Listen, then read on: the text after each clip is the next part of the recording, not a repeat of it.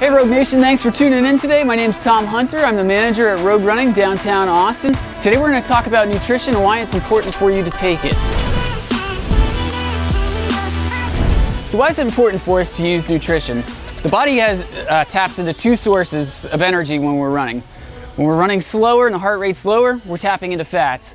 As the heart rate elevates, the body's going to take the path of least resistance and start using sugars, and that's where the nutrition is going to come into play.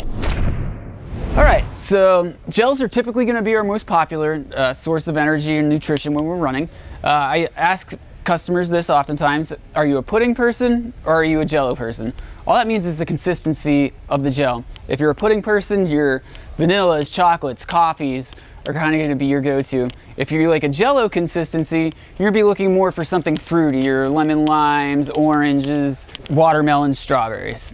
So GU is usually our number one selling gel product. However, it's not the only one out there. Um, it's always good to try different things. Um, if GU's too hard on your stomach, there's organic options out there like Honey Stinger and Huma. Um, there's also other products that are very similar to GU in Clif Shot and Hammer Gel.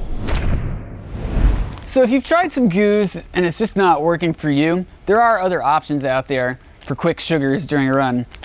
You can do things that are called Clif Shots and honey stinger chews. Um, it's gonna work the same way as what a GU does, except it's gonna have the consistency of like a, like a fun fruit or like a fruit chew. Um, drawback to it, it can get a little bit gummy in your mouth. Uh, also transporting it, it's not quite as easy as throwing a, a GU into your belt. These uh, can be a little cumbersome to, to uh, carry around, but they do work just as well.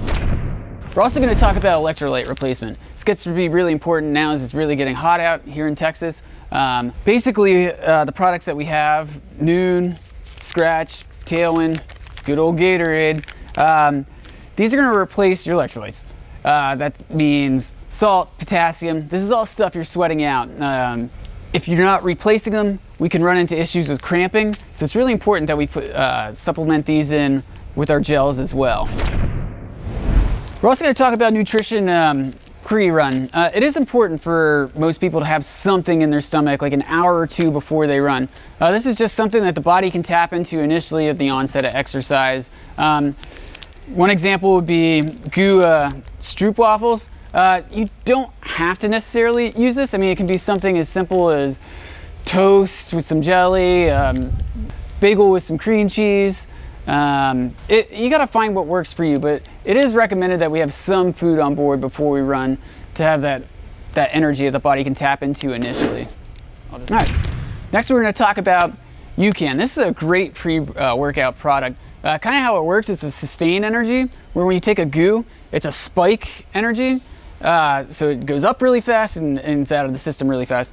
Where this is to last you maybe 60 to 90 minutes. A GU's kind of 45 minutes. This is great to take beforehand. Uh, it's a little chalky in texture.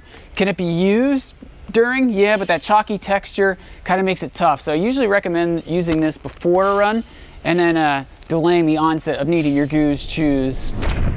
All right, everybody. And finally, remember this. It's important for us when we're taking our nutrition to try to take four to eight ounces of water with us. It's good to have either a handheld water bottle with you a hydration belt, a hydration pack. This is gonna be important when we take our nutrition.